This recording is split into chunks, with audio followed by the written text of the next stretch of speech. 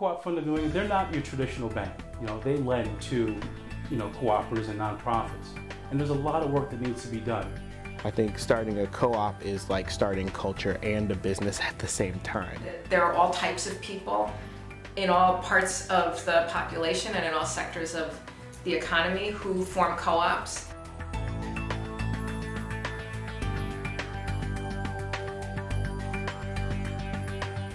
The mission is to support the success of these businesses. These people want you to succeed and they want to help you keep an eye on the big picture and down the road of where you're going. You know, initially the Co-op Fund was started in 75 to lend to uh, provide healthy food access. And here we are 40 years later, still funding healthy food access on a, on a Yeah. scale. You know, coming out of the social movement of the 60s, a lot of things were happening, and people were going out into the field, that sort of looking at what, what they could do. And then we started getting requests from Boston, Cambridge, and starting around New England. I think NOFA came in. So we met, set up a little account and raised about $50,000. Co-ops are used by a lot of different communities for a lot of different purposes in a lot of different ways. And we're open to all of them. So we finance community-owned food co-ops, we finance worker-owned businesses, we finance farmer and fisher-owned um, marketing firms, uh, housing that's owned by tenants. And because of that, we're able to help cross-pollinate. We're, we're able to help um, introduce people who are very deeply involved with one sector to some of the lessons and successes that we're seeing in some of the other sectors. Within the co-op community, there's more of a responsibility and an integrity that they feel the need to pay back the co-op fund because they know that the money will be used elsewhere for other cooperatives. With the Co-op Fund of New England, not only do they provide us with resources in order to grow our business, but they provide us with consultation and know-how. They have people involved that know all about cooperatives and the difference between running a conventional business and a cooperative, and that's been a huge help to us this year.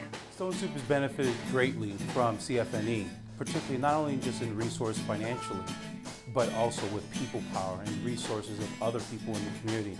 We were able to create the Co-op Academy and really take you know those resources, people power, brain power, and share it. And that's where definitely CFNE was able to step in and contribute. One of the principles of the co-op is the solidarity. And New England Co-op Foundation understand that very well. In the first moment, they give a CERO all the support, CERO move forward.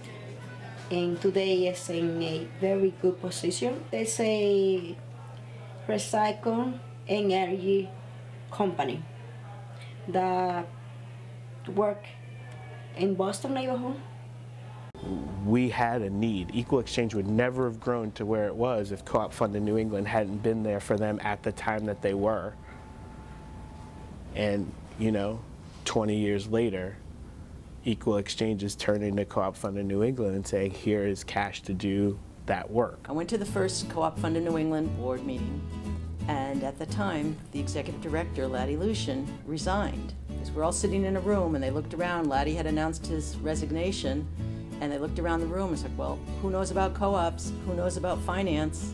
And there I was, I got the job. So I started, and it is 29 years ago, coming up this week.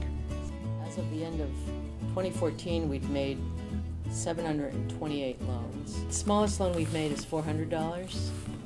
The largest loan is about a million now. They've all been repaid except for 1%.